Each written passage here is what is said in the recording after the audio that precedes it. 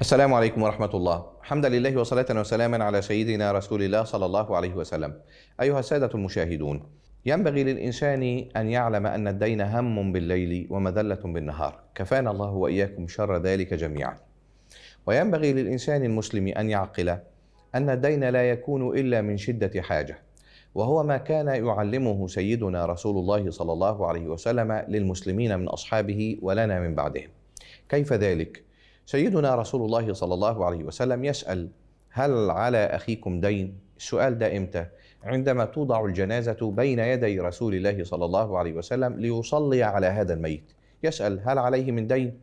فكانوا إذا قيل نعم قال النبي صلى الله عليه وسلم صلوا على صاحبكم ويترك الجنازة وينطلق النبي صلى الله عليه وسلم وتخيل أنه شخص يحرم من دعاء النبي صلى الله عليه وسلم لأنه مات وعليه دين كأن المعنى أن سيدنا النبي صلى الله عليه وسلم بيربينا على أنه الإنسان منتظر الموت في أي لحظة أوعى تموت وعليك ديون.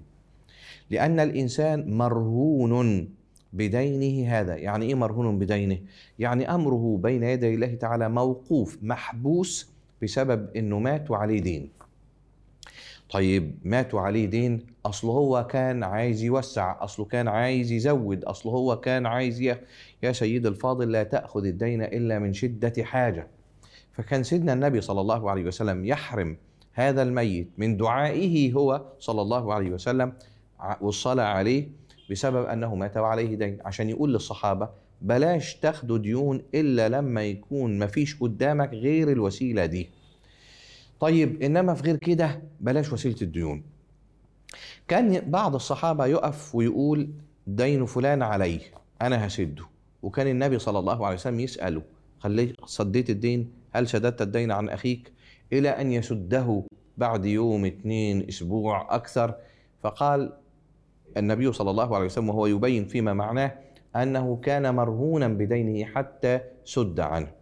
أو أنه يقوم صاحب الدين يقول أنا متنازل عن الدين يا رسول الله والنبي صلى الله عليه وسلم يصلي عليه.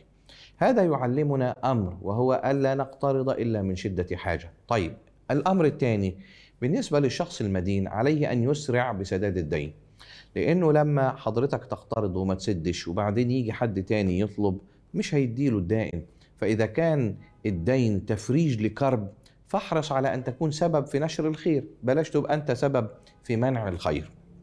الأمر الثالث ربنا سبحانه وتعالى بيقول لنا وإن كان ذو عسرة فنظرة إلى ميسرة.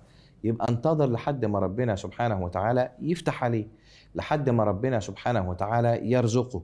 لكن بلاش تقعد عمال تزود وبخاصة لما تعامله بالربا. تقول له والله أنا كنت حاطط الفلوس دي بكذا يبقى أنت عليك كل يوم كذا وكم في المية منها وتزودها عليه. هذا التعامل انتشر للأسف بين الناس.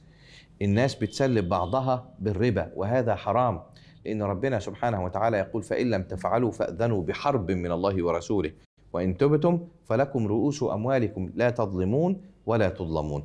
وإن كان ذو عسرة فنظرة إلى ميسرة وأن تصدقوا تسيبها له خير لكم إن كنتم تعلمون. التجاوز عن الناس. النبي صلى الله عليه وسلم قالوا سيدنا جابر بن عبد الله رضي الله عنه وأرضاه بعد غزوة أحد وقد قتل أبوه في الغزوة سيدنا عبد الله بن عمرو رضي الله عنهم أجمعين. سيدنا عبد الله لما استشهد كان ترك لابنه سيدنا جابر ست إخوات بنات وعليه دين ثقيل أثقله. طيب سيدنا جابر مطلوب منه يسد الدين عن أبوه ويجوز اخواته البنات ويشوف الأمر يصلح بإيه. فذهب إلى النبي صلى الله عليه وسلم فعلمه أن يدعو بهذا الدعاء ثلاثا صباحا وثلاثا مساء. وهو يقول اللهم إني أعوذ بك من الهم والحزن وأعوذ بك من العجز والكسل وأعوذ بك من الجبن والبخل وأعوذ بك من غلبة الدين وقهر الرجال. هذا الدعاء مفيد ومجرب في مسألة سداد الدين. إيه الأمر الآخر؟ سيدنا النبي صلى الله عليه وسلم عمل إيه؟ النبي صلى الله عليه وسلم بدأ يرسل سيدنا جابر في مأموريات الهدف منها قضاء ما عليه من دين. يعني يلاقي في سبيل لكسب رزق. يقوم بعد سيدنا جابر بن عبد الله رضي الله عنه وأرضاه بحيث أنه هو يكسب رزق يسد به الدين. وهذا من المروءة في سداد الدين. أن تعامل الناس وأن تساعدهم لسداد ما عليهم. أكثر من هذا سيدنا النبي صلى الله عليه وسلم راجع من سفر ومعاه سيدنا جابر. راكب على دابة. سألوا النبي صلى الله عليه وسلم عن دابتي أتبيع دابتك هذه؟ قال يا رسول الله يعني لا أبيعها إلا بكذا. بدأ النبي صلى الله عليه وسلم يفاصل معه تبيعها بكام؟ بدينارين. قال له بدينار. لا بدينارين. النبي صلى الله عليه وسلم تمسك إنه بدينار. فاشترط سيدنا جابر إنه يعني أتبلغ بها منزلي. أوصل البيت لأن عليها حاجتي ولما أوصل ابقى اسلمها لك. يبقى التسليم أنا هاخد الدينار والتسليم بعد ما أوصل بيتي وانزل حاجتي كلها. النبي صلى الله عليه وسلم قبل وبعدين وصل سيدنا جابر نزل حاجته وقام واخد الدابة موديها لسيدنا النبي صلى الله عليه وسلم. لكن النبي صلى الله عليه وسلم أفصح له عن أنه تنازل له عن الدابة وأعطاه المال. يبقى المال ده هدية مني أو المال ده ثمنها وأنا اشتريتها وأهديتها لك مرة أخرى. يبقى وسيلة للمساعدة. فمن كان مكروبا فساعدوا في تفريج كربه وسداد دينه. هذا ما فعله سيدنا رسول الله صلى الله عليه وسلم وليتنا نقتدي به. سلام الله عليكم ورحمته وبركاته.